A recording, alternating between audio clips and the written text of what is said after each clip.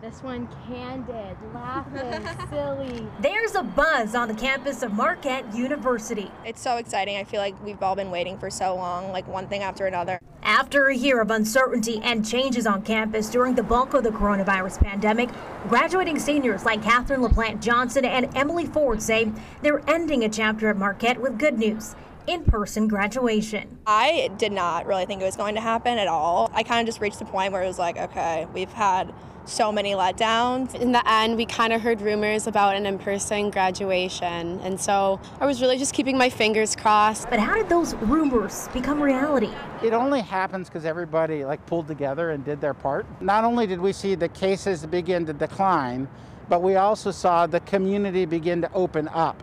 And so when we saw those things start to kind of collide with one another, we knew that we had an opportunity. That's when Provost Kimo Ayun says they reached out to Milwaukee's health department. They were able to help us to identify what we needed to do in order to keep everyone safe. That includes mask requirements, a limit of two guests per graduate, a live stream of the ceremony, and spacing made easier by holding graduation at American Family Field. We'll have an undergraduate uh, ceremony in the morning and a graduate and professional ceremony in the afternoon.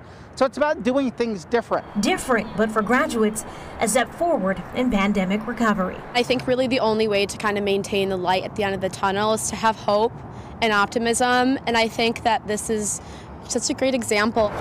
Janae Amara, WISN 12 News. The commencement speaker this year is Milwaukee native and Oscar winning screenwriter John Ridley, who will appear in a pre recorded speech. Marquette's undergraduate commencement starts at 9 a.m. Sunday.